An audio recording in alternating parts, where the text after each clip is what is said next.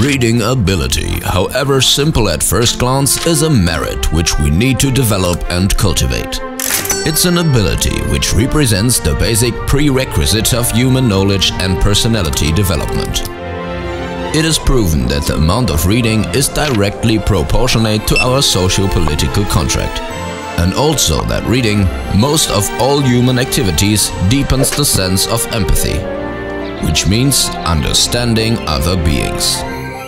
I'll be a while. Jiří Mahen Library in Brno.